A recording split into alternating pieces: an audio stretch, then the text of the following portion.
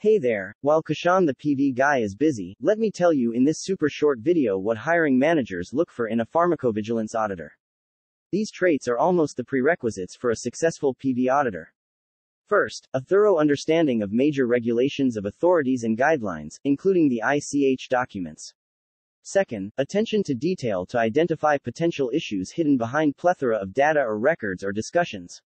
Third, strong communication skills to effectively communicate with stakeholders.